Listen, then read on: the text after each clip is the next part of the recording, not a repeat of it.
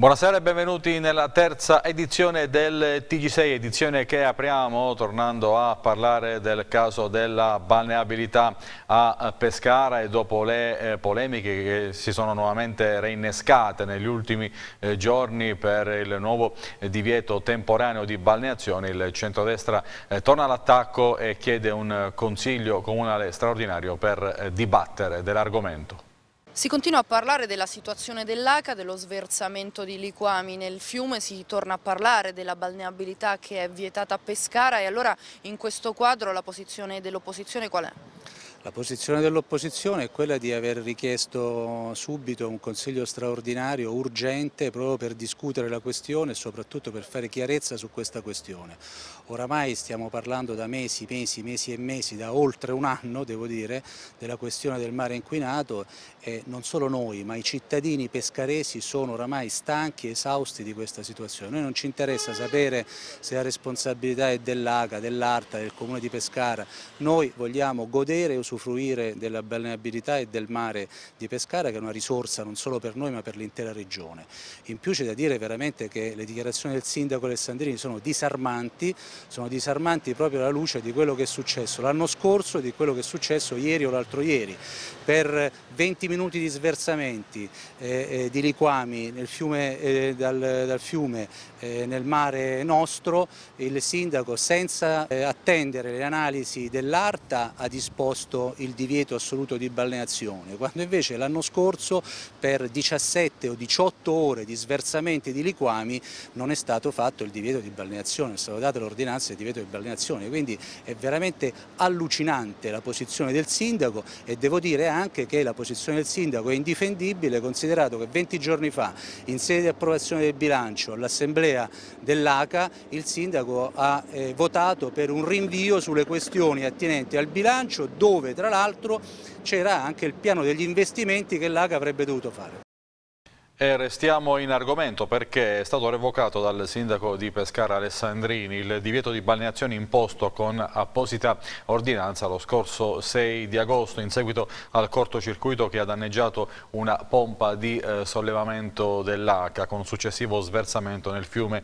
Il divieto di balneazione inizialmente eh, era stato disposto per 48 ore e poi prorogato per un giorno. Tornano dunque eh, balneabili tratti di mare denominati zona zona antistante eh, Viale Muzzi, zona antistante Via Galilei e zona antistante Fosso Valle Lunga.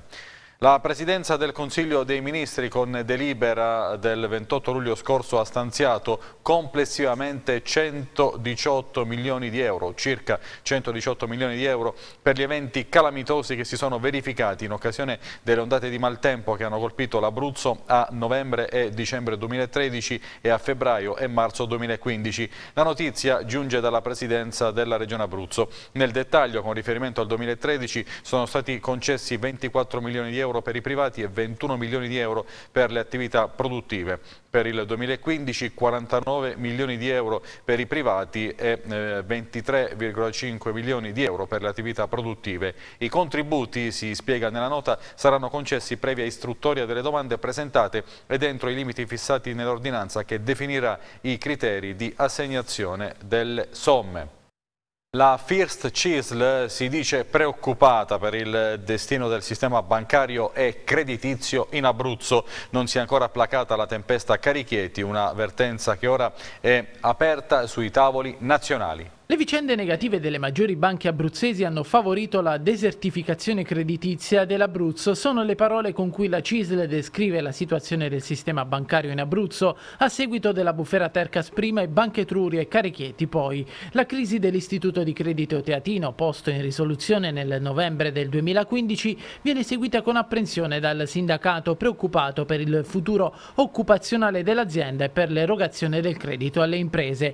L'avvertenza della Carichieti oggetto di tavoli di confronto nazionali tra le organizzazioni sindacali e l'unità di risoluzione, la CISL auspica una soluzione trasparente per garantire la normale attività bancaria e la serenità dei lavoratori.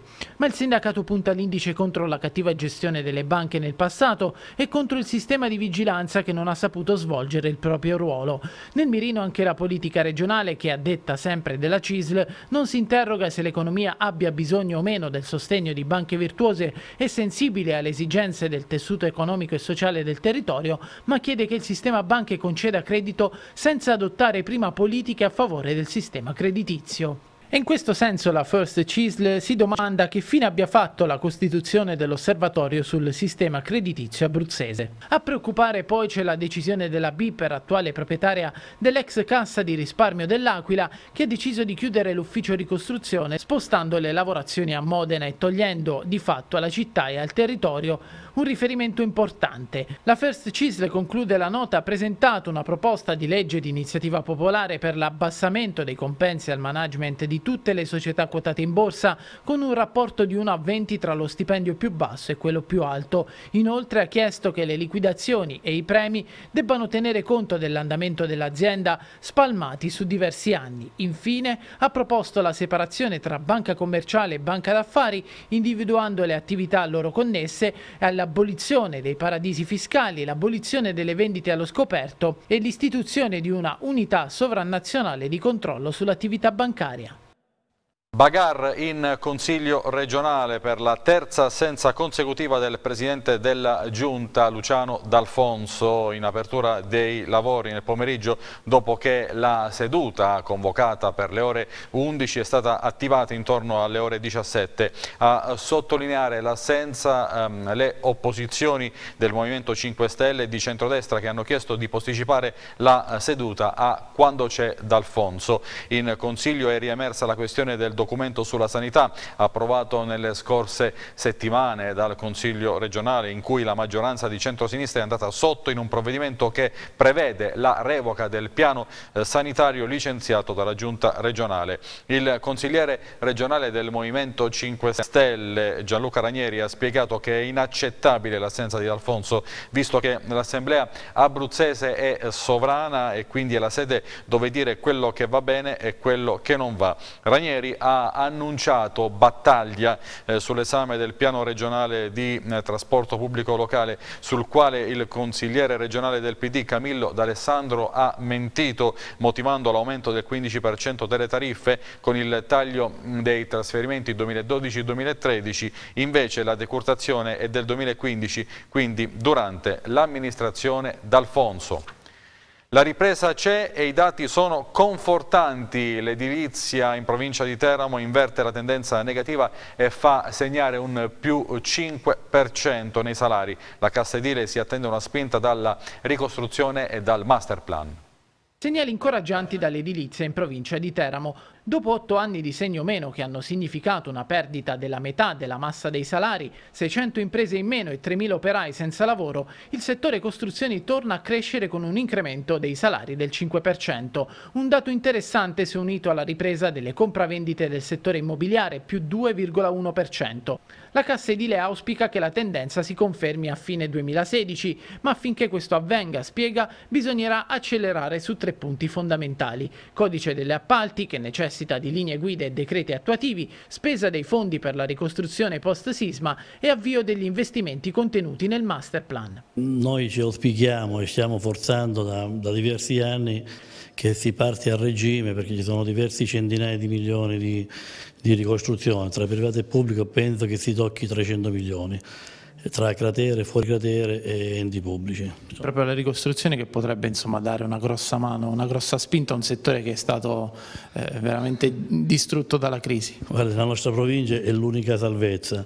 Questa piccola ripartenza che c'è stata è stata dovuta anche al reinvestimento degli enti pubblici hanno reinvestito sulla sicurezza delle scuole, sul, sulla reggimentazione delle acque e anche sugli impianti di depurazione, però chiaramente per la nostra provincia eh, la manna dal cielo sarebbe che partisse a pieni voti la, la ricostruzione. Aspettate qualcosa in più forse anche dal master plan della regione? Sì, io nel documento l'abbiamo citato, adesso non so la tempistica del master plan, però anche lì ci sono circa 100-120 milioni che dovrebbero arrivare in provincia. Ci auspichiamo che la cosa avvenga.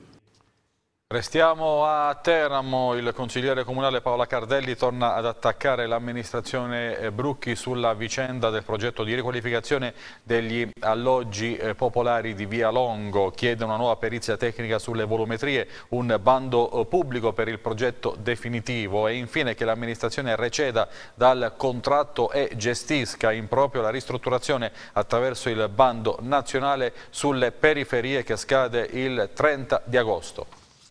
Dopo un esposto alla Procura, un'interrogazione all'assessore all'urbanistica Valeria Misticconi e una commissione andata deserta, il consigliere comunale di Teramo Paola Cardelli si rivolge alla stampa per mettere ancora una volta in luce la situazione delle case popolari di Via Longo. Il consigliere chiede a maggioranza d'opposizione di chiarire se favorevoli o contrari al progetto della SGR, 18 milioni di investimento complessivi.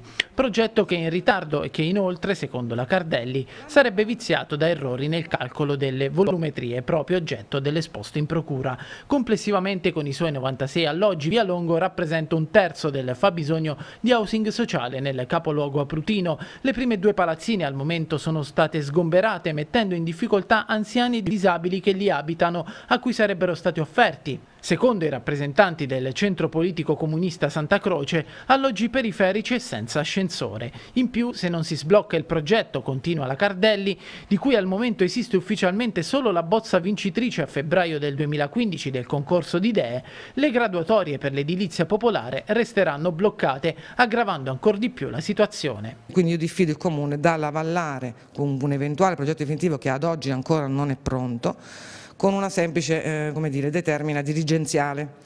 Questa è la, è la, prima questione. La seconda questione è che chiesi appunto una nuova perizia di stima per sapere eh, effettivamente la, la, consistenza degli immobili.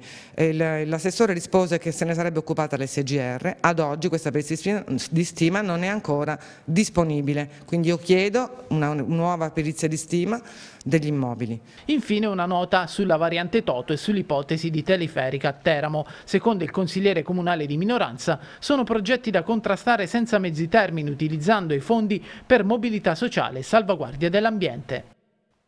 C'è un nuovo rettore per il Gran Sasso Science Institute, si tratta di Eugenio Coccia sarà Eugenio Coccia, il primo rettore della nuova scuola universitaria superiore Gran Sasso Science Institute dell'Aquila, che ormai è diventata a tutti gli effetti la seconda università del capoluogo. La nomina, annunciata da giorni, è stata ufficializzata ieri ed è solo la prima di una serie che vedrà il GSI completare gli organi con un direttore generale, il consiglio d'amministrazione e il senato accademico. Coccia, 60 anni, già direttore dei laboratori nazionali del Gran Sasso, dell'Istituto Nazionale di Fisica Nucleare dal 2003 al 2009, ha guidato come direttore lo stesso Gran Sasso Science Institute nel triennio sperimentale dell'istituto, attivato all'Aquila nel 2013. Il neorettore comincerà il suo mandato dopo il decreto di nomina da parte del Ministero dell'Istruzione dell'Università della Ricerca Stefania Giannini. Per il decano del Senato accademico e dei docenti del GSI, il professore Sergio Petrera, l'elezione è il risultato più atteso da tutta la comunità, dal più giovane allievo al professor Carlo Rubbia, e il coronamento di un percorso in cui il neoeletto ha profuso tutte le sue energie. Apertura ufficiale oggi al santuario di San Gabriele della Dorata, Isola del Gran Sasso, della 36esima Tendopoli con il tradizionale benvenuto ai ragazzi del eh, padre provinciale dei passionisti Dario Di Giosia, del rettore del santuario padre Natale Panetta e di padre Francesco Cordeschi. I tendopolisti dopo il Tend Fest Fantasia si mh, mm, prepareranno ad accogliere la fiaccola della eh, speranza accesa dal cardinale Angelo Sodano è partita domenica da Rocca di Mezzo. La fiaccola, benedetta da Giovanni Paolo II prima, da Benedetto XVI eh, dopo e infine da Papa Francesco, verrà portata in eh, staffetta da un gruppo di eh, podisti di Montorio al Vomano. La 36esima Tendopoli che mm, si svolgerà da questo pomeriggio fino a sabato 13 agosto entrerà nel vivo da domattina con la relazione prevista per le ore 9.30 Misericordia è il nome del nostro Dio di padre Roberto Cecconi, professore presso l'Istituto Teologico di Ancona. E andiamo avanti, operatori e portatori di interesse uniti per valorizzare la riserva regionale Grotte di Luppa e creare un marchio che tuteli i prodotti dell'area. Coniugare ambiente, turismo e sviluppo socio-economico. È quanto si sta provando a realizzare nella riserva naturale regionale Grotte di Luppa, che si estende all'interno del comune di Sante Marie, in provincia dell'Aquila, su una superficie di circa 435 ettari.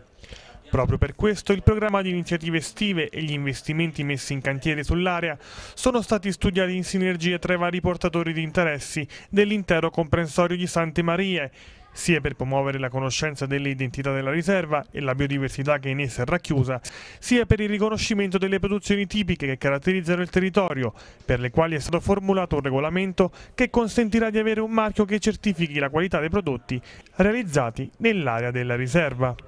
È una gestione piuttosto complessa perché parte da un dato di eh, infrastrutturazione materiale e immateriale il cui avvio è avvenuto solo nei mesi precedenti ma che già sta dando dei risultati, infatti la riserva ha diverse centinaia di visitatori che la percorrono e si sta dotando di tutti quelli, eh, di tutti quei mezzi necessari all'erogazione di servizi quali quantitativi standardizzati sui massimi livelli abruzzesi e dei segmenti turistici che vengono attratti. È un un sistema complesso, è un sistema che ha bisogno ancora di tempo per essere rodato pienamente ma che si sta sviluppando secondo direttrici che sono quelle della Green Economy. Partiamo infatti dalla realizzazione di nuovi sentieri, la manutenzione di questi sentieri, la cartellonistica di servizio, il sito della riserva, la pagina Facebook della riserva, degli operatori qualificati che accompagnano, corsi per operatori di riserva, l'apertura del polo museale, la riproduzione della grotta di Lupa all'interno in una delle stanze del polo museale, il calendario estivo con una serie di, di eventi tematici che portano alla sensibilizzazione e alla conoscibilità dell'area per poi giungere anche alla fase convegnistica che ci accompagnerà all'Open Day, la famosa sagra della castagna di Santa Maria con le sue decine di migliaia di visitatori. Saranno passi tratti eh, dal Shakespeare i eh, protagonisti della eh, Notte delle Paure di Valle Castellana dal 10 al 14 di agosto, teatro nel Bosco per celebrare i 400 anni dalla morte dello scrittore inglese. Scoprire o riscoprire Shakespeare all'interno del bosco di Valle Castellana è l'obiettivo della ventiduesima edizione della Notte delle Paure che il piccolo comune del Teramano quest'anno ha deciso di dedicare ai 400 anni dalla morte del grande scrittore e commediografo inglese. Shakespeare 400 Il bosco si muove, questo è il titolo scelto per le quattro repliche dello spettacolo dal 10 al 14 agosto. Titolo che evoca il Macbeth ma che racconta di uno spettacolo fatto di piccole grandi gemme tratte dalle opere più belle di Shakespeare. Mm, la cosa bella è proprio sentire te dei testi meravigliosi, delle, delle cose eh, che Shakespeare ci ha regalato da, dal 600, cogliendo l'occasione dell'anniversario dell della morte di, di, Shakespeare, 400 anni, noi in qualche modo vogliamo mm, riportarlo nella natura perché le, i suoi testi stanno lì dentro come, come un gioiello. Tu, quando, quando verrete a vederlo accorgerete che è una, è una cosa eh, unica, è un testo sacro e in qualche modo allo stesso tempo universale. Invito tutti a venire e a sceglierci, so che ce ne stanno tante di manifestazioni in giro, ma noi abbiamo qualche particolarità, se non altro quella ambientale che, che è qualcosa di eccezionale. Ecco, appunto è un'occasione per scoprire anche il territorio e il circondario di Valle Castellana. Esatto. Eh. Diciamo che il progetto della Notte delle Paure eh, prevede anche quello, quindi far conoscere il territorio, tra l'altro mi rifaccio anche un po' al film che è stato realizzato con l'edizione 2014 che io ho avuto modo di vedere con, in, in, anteprima e vi assicuro che è uno spot promozionale per il territorio favoloso che insomma, mi auguro che poi magari sia usato anche per altri scopi.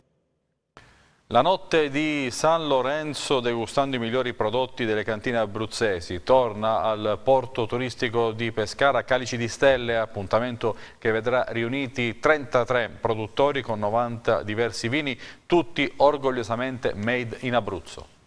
Noi dobbiamo collegare sempre di più il nostro vino alle nostre cantine, all'identità territoriale e fare in modo che il nostro prodotto sia legato al territorio. Attraverso queste manifestazioni riusciamo a promuovere questo concetto importante di promozione. Proprio nel 2015 abbiamo avuto un più 8% di export per quanto riguarda il settore vino, risultati assolutamente brillanti. Il primo bando del piano di sviluppo rurale ha riguardato appunto la promozione, 1.200.000 euro a disposizione dei prodotti agricoli regionali, in particolare modo del vino.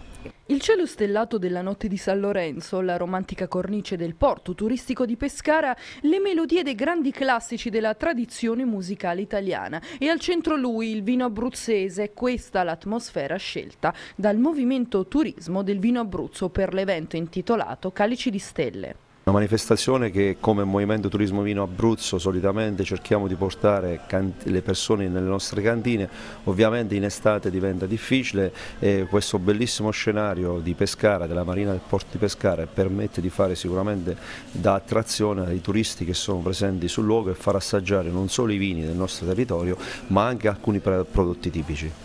L'iniziativa chiamerà a raccolta ben 33 cantine abruzzesi pronte ad accogliere i visitatori con una selezione di oltre 90 vini tutti rigorosamente made in Abruzzo tra bollicine, freschi bianchi, rosati, cerasuolo e il classico Montepulciano d'Abruzzo. Eh, Quest'anno ci sono altre novità, quindi oltre a degustazione vini con tutte le cantine eh, si potrà degustare anche il vino tra cielo e mare eh, grazie a un armatore che ha messo a disposizione un catamarano Fiumare Abruzzo, quindi si potrà degustare anche il vino facendo una passeggiata in mare. Proseguiamo con la pagina degli eventi. Nella patria abruzzese della Porchetta, a Campli, torna la sagra dedicata alla pietanza tipica che affonda le sue radici nei secoli. Tante le manifestazioni d'arte, sport e gastronomia a eh, corollario della, sacra, eh, della sagra. Andiamo a conoscerle nel servizio. Arte, storia e gastronomia, questo è il mix vincente della sagra più antica d'Abruzzo, nata nel 1964. La sagra della porchetta italica di Campli attrae ogni anno più di 100.000 persone che arrivano in provincia di Teramo per gustare un cibo antichissimo che affonda le sue radici nei secoli.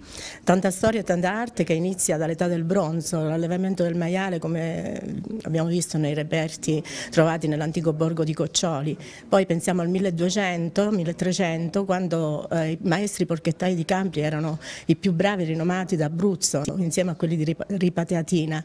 Il 22 mm, agosto, ultimo giorno della sagra, c'è stata questa coincidenza eh, perché avevamo invitato il professor Sgarbi per la cittadinanza onoraria, ciò per ringraziarlo per quello che ha fatto sinora per Campri, perché voglio ricordare che grazie a lui abbiamo avuto un'opera molto importante, la Madonna del Latte di Giacomo Campli all'Expo. La sagra è anche un concorso per stabilire qual è la porchetta porchetta migliore. Lo scorso anno vinto dal maestro porchettaio Nicolino Mercuri. Come tutti gli anni è una giuria di qualità composta la prima sera da editori e giornalisti, la seconda sera da esperti enologi e anche da cuochi per cui insomma daremo la possibilità a tanti di poter giudicare la nostra porchetta insieme alla giuria popolare che comunque ha il suo peso molto importante. Tante anche le manifestazioni collaterali per un evento che può essere votato sul sito Italia Live che racchiude le più importanti manifestazioni italiane. Sì, diciamo che come ogni anno, è il terzo anno che l'associazione Monti Gemelli Bike,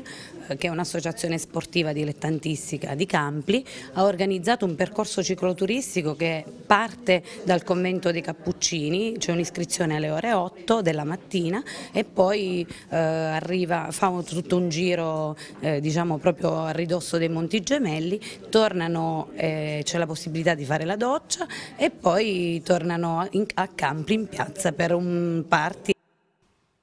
Apriamo la pagina dello sport, presentate nel pomeriggio al porto turistico di Pescara le nuove maglie da gioco della Pescara Calcio che verranno indossate nel prossimo campionato di Serie A. Eh, le maglie saranno eh, quella tradizionale eh, bianca-azzurra, poi giallo fluo, blu stile anni 80 e ce n'è una quarta bianco-rossa indossata lo scorso 3 agosto in occasione del Memorial Morosini a Vicenza e che eh, si è giocata quella partita anche per oh, celebrare eh, il eh, gemellaggio quarantennale tra le due eh, tifoserie. Le nuove maglie sono firmate dallo sponsor tecnico della RA. Sulle maglie del Pescara campeggeranno eh, le insegne degli sponsor OMA, società eh, meccanica della famiglia Angelucci e Armata di Mare, azienda di abbigliamento sportivo milanese. Alla presentazione odierna erano presenti una settantina di tifosi biancazzurri ed è ovviamente mh, eh, sempre momento di eh, calciomercato, calciomercato in fermento in casa eh, biancazzurra, il servizio. Il Pescara lavora per riportare in Italia Alberto Aquilani, il 32enne centrocampista romano l'ultima idea è anche qualcosina di più del Delfino. La rottura con il suo attuale club, i portoghesi dello Sporting Lisbona, ha convinto i biancazzurri a provare l'affondo per il Principino. Cresciuto nelle giovanili della Roma, alle spalle di Daniele De Rossi, ha attraversato dal 2004 in poi il gota del calcio italiano. Ovviamente prima con i giallorossi, della prima era Luciano Spalletti, poi l'esperienza oltremanica, non proprio fortunata, con il Liverpool. Il ritorno in padre in prestito prima con la Juventus e poi il passaggio in rossonero con il Milan. La nuova giovinezza con la Fiorentina, tre stagioni, 81 presenze e 13 reti prima di emigrare di nuovo in Portogallo. Il Pescara ha avviato i contatti col giocatore e avrebbe già pronta l'offerta di un contratto di due anni per dare quantità ma soprattutto qualità alla mediana, perché l'arrivo di Aquilani sarebbe davvero un gran colpo in attesa di vedere come verrà completato il reparto. Caldi ancora i nomi di Gnocuri e Grassi, in difesa invece oltre all'ungherese Guzmic ci sono sviluppi sviluppi sulla vicenda Ghiomber. Il difensore della Roma è stato escluso dalla lista dei 23 nomi per il preliminare di Champions League contro il Porto. L'ulteriore arrivo di Vermalen gli chiude ulteriormente una strada che sembrava comunque già sbarrata. Il Delfino lo aspetta per rinforzare la retroguardia. Oggi intanto giù il velo sulle nuove divise per la prossima stagione nella massima serie al Marina di Pescara, proprio poche ore prima dell'amichevole contro la Vastese neopromossa in Serie D. Domani sera invece alle 20.30 la presentazione ufficiale della squadra, che magari non vendrà ancora la rosa completa, l'importante è che lo sia per lo start del campionato. E a proposito della rosa del Pescara andiamo ad ascoltare le dichiarazioni del fantasista eh, libico eh, Ahmad Benali tra i protagonisti della scorsa stagione ed è eh, subito eh, carico per la nuova avventura in Serie A. Si avvicina l'esordio di campionato, mancano ormai pochi giorni, si inizia a sentire bene lì la pressione della prima con il Napoli? No, sicuramente pressione no, perché eh, abbiamo preparato tutto, tutto, il ritiro, abbiamo lavorato come pazzi, eh, tre settimane di lavoro duro, quindi nessuna pressione, andiamo in campo eh, e divertiamoci come, come abbiamo fatto l'anno scorso. Prosegue la marcia di avvicinamento comunque al torneo, che Pescara in questo momento c'è e quali sono, volendo fare un gioco di percentuali, qual è la percentuale di preparazione del Pescara oggi? No, noi facciamo una partita alla volta, quindi eh, la prima partita c'è il Napoli e poi eh, il Sassuolo fuori, no? Quindi eh, ora cerchiamo di preparare il meglio, affrontare una squadra forte come il Napoli, poi, eh, poi dopo quello pensiamo una, volta, una partita alla volta.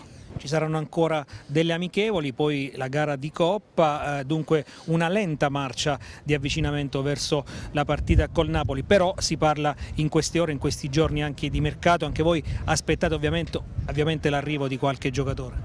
No, eh, guarda, noi eh, non è una cosa nostra, quindi noi facciamo lavorare come hanno fatto sempre la società, eh, massima fiducia che qui sono arrivati giocatori importanti, arriveranno eh, ancora giocatori importanti, quindi noi eh, eh, cerchiamo di, di fare tutto in campo e la società farà quello che deve fare fuori.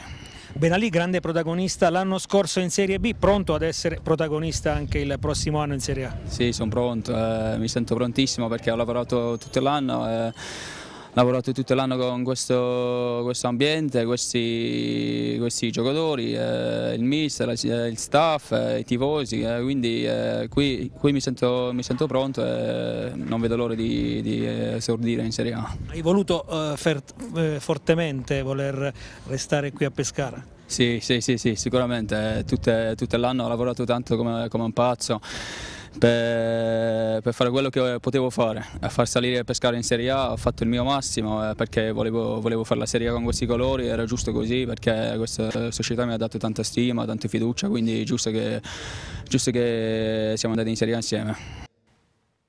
E adesso ci spostiamo in casa Teramo con le parole del presidente Luciano Campitelli. Cioè, questi sono amichevoli giusto per mettere ossigeno, eh, ma non contano niente, sono delle amichevoli senza che, che uno può, fare, può pensare che gioca bene o male. Io credo che le, devono arrivare le partite vere per poter capire il Teramo mh, mm, quanto vale. Le partite vere arriveranno, la prima arriverà tra, esattamente tra tre settimane, la prima di campionato, in un girone di ferro, in un girone molto complicato che Campidelli vede come?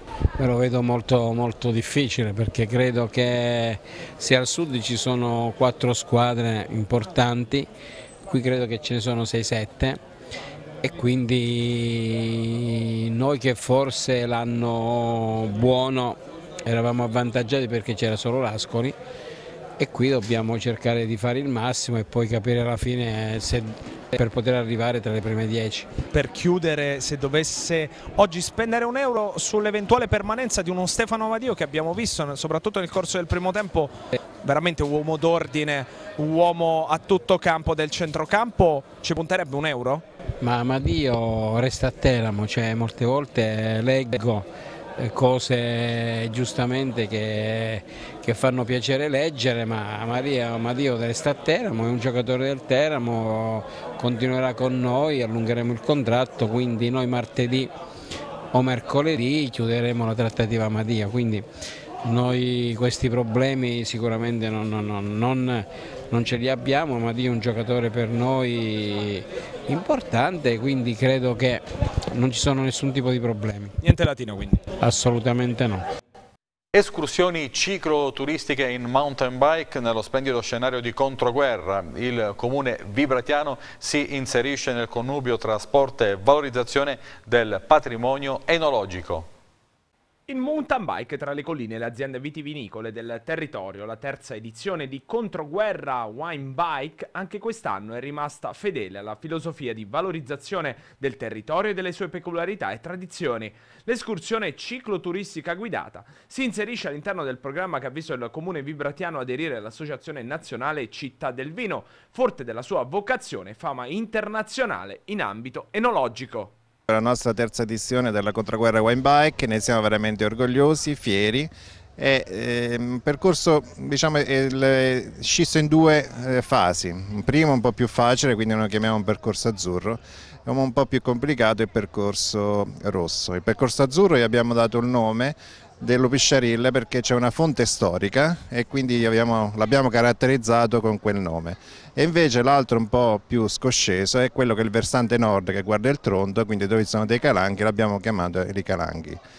È un bel percorso, soprattutto perché passiamo sul nostro territorio rurale, che io oso dire è meraviglioso territorio rurale, quindi fatto di vigne, fatto di oliveti, ci si diverte e soprattutto tocchiamo tutte le nostre cantine che sono delle vere eccellenze sul nostro territorio. Quindi una, sarà sicuramente una giornata bella perché c'è il sole, ma anche molto molto interessante. Insomma il tutto alla riscoperta e alla valorizzazione del territorio con tutte le sue tradizioni enogastronomiche, culturali, un bel patrimonio. Sì, assolutamente, noi ci freggiamo di essere città del vino, città dell'olio, dall'anno scorso siamo anche città slow quindi rete internazionale delle città del buon vivere.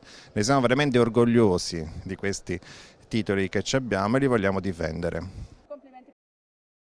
Era questo l'ultimo servizio del TG6 che torna domani con la prima edizione delle ore 14. Grazie per l'attenzione e buonanotte.